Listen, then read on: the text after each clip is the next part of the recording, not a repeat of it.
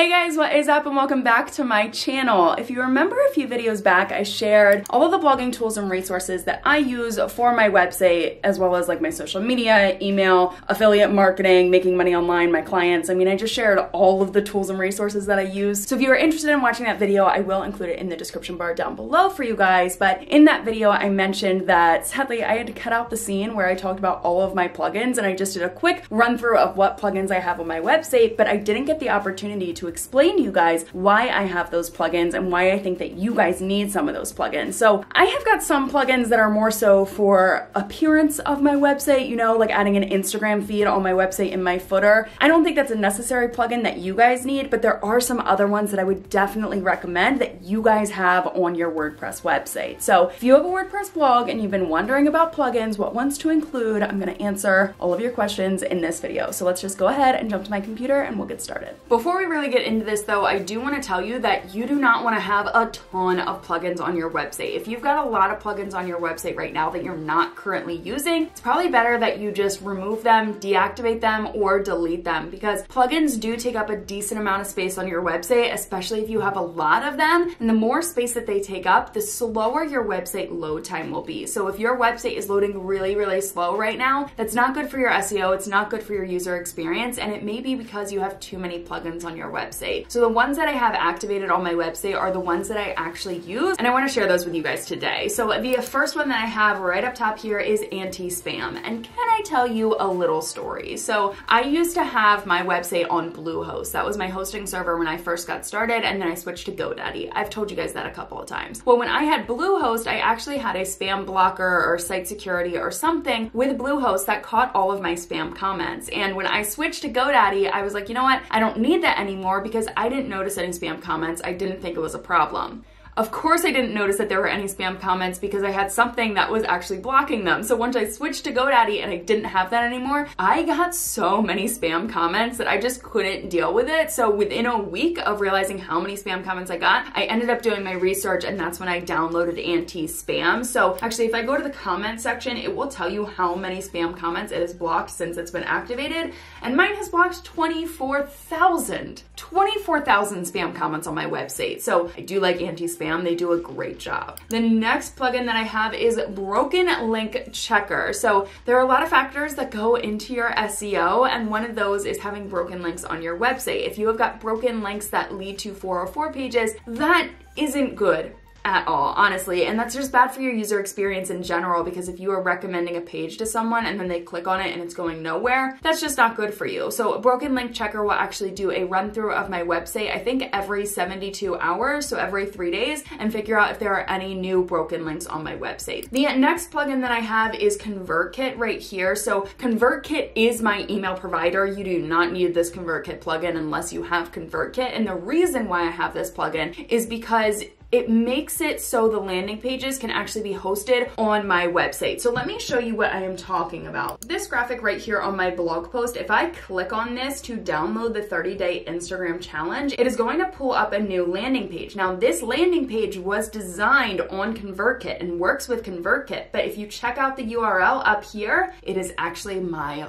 website. So that is one thing that I like about ConvertKit. You can actually host landing pages on your website instead of through ConvertKit I, I, just think that's a sweet feature. So that's exactly why I have the ConvertKit plugin on my site. The next one is Essential Grid. And actually, I should have told you guys this from the beginning. All of these plugins are free except for two of them. So there are only two plugins that I have purchased. The first one is Essential Grid, and the second one is Social Warfare, which I will get to. So Essential Grid, the reason that I got this plugin is because of Melissa Griffin. Honestly, she convinced me to get it. I was creating a free resource library on my website and I didn't know how to do that. So with Essential Grid, grid, I can have my free resource library on my website. So let me show you what that looks like. So this is my VIP free resource library available on my website. It's just got a lot of free downloads and stuff that you guys can use. You just need to become a VIP. So I do have a link in the description where you can join my VIP team and then you get access to this free resource library because it is password protected. But what you can do with Essential Grid is you can add these images, set it up with how many photos you want to go across, and then if you click on this download button, what it's going to do, it's going to open a new page that has the download available for someone to use, which is perfect for things like a resource library. But I also use Essential Grid on my blog page. So I didn't like the blog page that came with my theme. I just didn't think it was that user friendly and I wanted people to be able to see more blog posts and easily select the one that they wanted to use. So this right here is actually made possible by Essential Grid. So if someone wants to read this blog post, they just click on this link button and it's going to open the blog post. It's that easy. So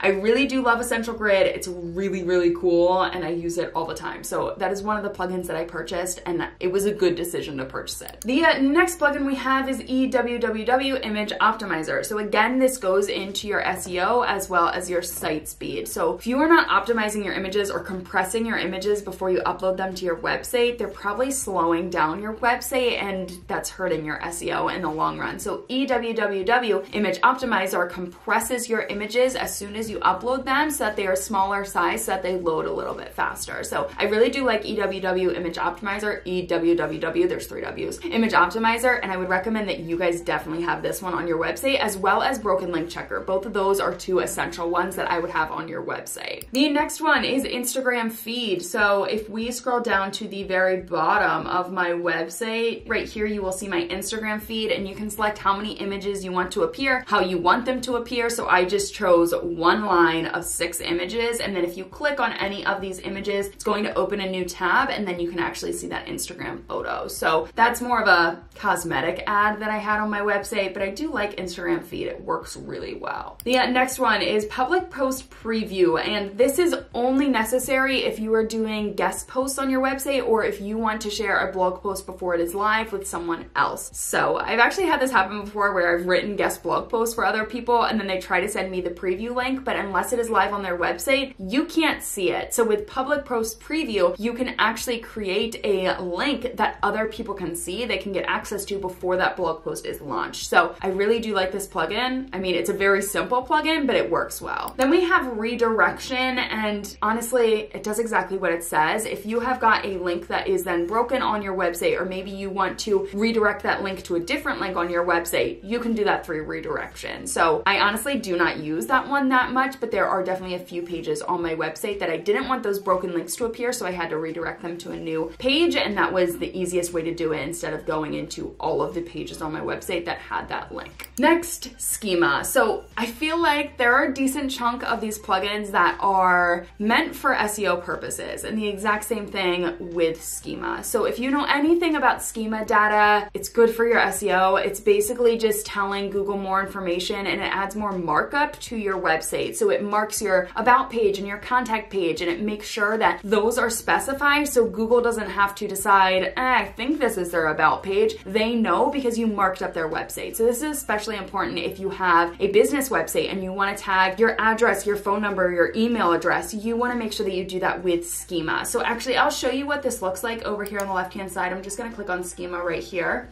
And on this general tab, just like I said, you can select your about page, you can select your contact page here. Knowledge graph, this is where you get to decide if you are a person or an organization. You can select the name of your blog, or if you're using your own name, you want to enter that here, your website, as well as your logo so that it pulls up the correct logo when someone is searching that on Google. So that is one of the ones that I would say must have have to have on your website. Set it up once, select the appropriate pages and your name and website and logo, and that's it. Okay, where were we at? Simple social icons. So back to my website right here, these little icons that appear at the bottom, those are made available by Simple Social Icons. So that's what that does right there. Nothing too fancy. Then we have got Social Warfare and Social Warfare Pro. So this is the second plugin that I told you guys about that I paid for. I paid for Social Warfare Pro, obviously. Social Warfare is available for free if you just download it through WordPress. Totally fine. But I went for the paid version for one reason, and it's because my website for some reason was having problems pulling up Pinterest images, and people weren't allowed to pin my blog posts and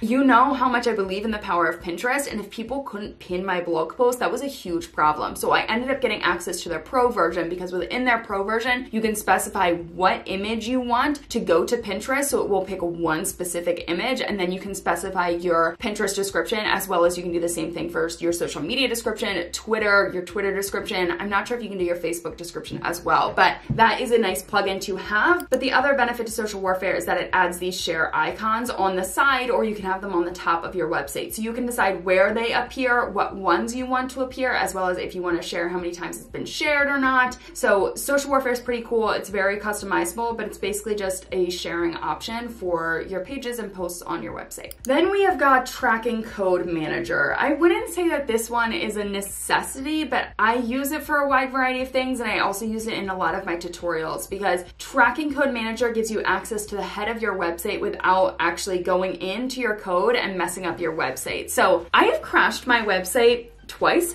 One of the times was because I went in and I messed with the code and I did it wrong. So Tracking Code Manager makes it so you don't actually have that problem. You can add code to the head of your website, which is just within your coding, and you're good to go. Totally fine. So Tracking Code Manager is great if you need to do Pinterest verification, if you need to verify your Google Search Console, you Google Analytics, or even a Facebook tag, you can do that all through Tracking Code Manager. The uh, next one we have is W3 Total Cache, and I would say that this one is probably another necessity that I would recommend that you guys have on your website. And here's why. If you know what a cache is, so when you visit a website, your website browser will hold information about that website so that the next time you go to visit it, it will load faster. It's not like they have to reload all the data on their website. They only have to load the new data. But if your cache gets so big and so full, really, sometimes it won't realize when there is new data and you have to clear your cache on your website. And this is a problem that I had a year ago, guys, I went months and I didn't know that my website wasn't loading any new information. So I was launching blog post after blog post every single week. And for, I think it was almost three months, my website didn't load any new information. So I was promoting these blog posts on Instagram and my audience actually couldn't get access to them because my cache was messed up. And all I had to do was download W3 Total Cache and clear my cache. That's all I had to do. It was so simple. So now every few months I go in and I clear my cache just to make sure that my website is loading for everyone out there. But I do recommend W3 Total Cache, especially if you notice that maybe your website's not pulling up new information. And the last plugin that I have on my website down here is Yoast SEO. And I feel like this is pretty self-explanatory. If you have a WordPress website, you need Yoast SEO. It allows you to do some things within your search engine optimization that you absolutely need to do if you want to appear on Google. So I swear by Yoast SEO and I also include it in a lot of my video tutorials. Now, I'm hoping that you guys understand why I had to cut that out of the original video because it was just so much information. I mean, I do have a decent amount of plugins on my website, but I wanted to give you an in-depth look at what they actually do and why I have them. It's not like I've got plugins on my website for fun. They are actually all functional and I do use them to run and operate my website. So if you like this video and found it helpful, make sure you give it a thumbs up and subscribe to my channel down below and I'll see you guys back here in another video soon. Bye guys.